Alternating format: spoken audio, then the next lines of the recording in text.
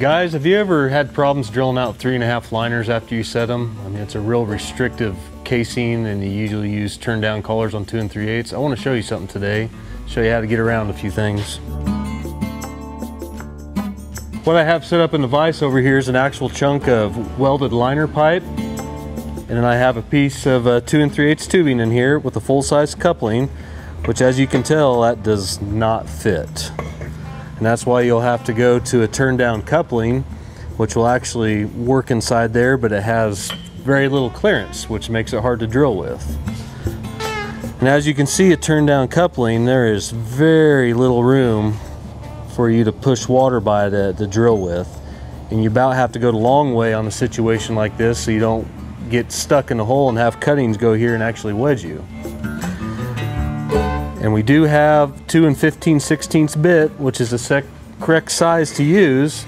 And as you can see, that just fits in there and that'll drill you out completely so you're not restricted on your ID. Um, we've had some guys use little mills before to drill this out and grind away and you know and that that can work but the holes get too small and the neat thing about these you know nothing's welded of course it screws together has a tight little thread. We have some room inside there so we can actually get cuttings to come up through this and come out of the well bore so everything's clean for you. And the next part I'd like to mention is your mud pump choice when you do a job like this. It takes more pressure to push this out of the hole and that if you're not using 2 and 16th tubing and 2 and 3 eighths, you need a bigger mud pump.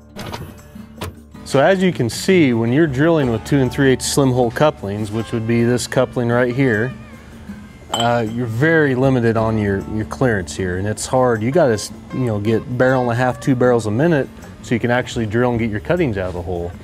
Uh, we have a pump that can do those high rates and make this work for you. And I actually have a, a few pictures from our a job this week with a guy.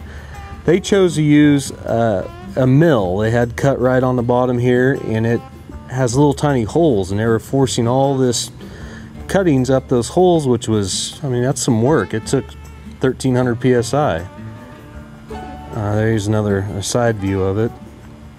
There's the top. And it worked. It was effective but it just didn't have the room.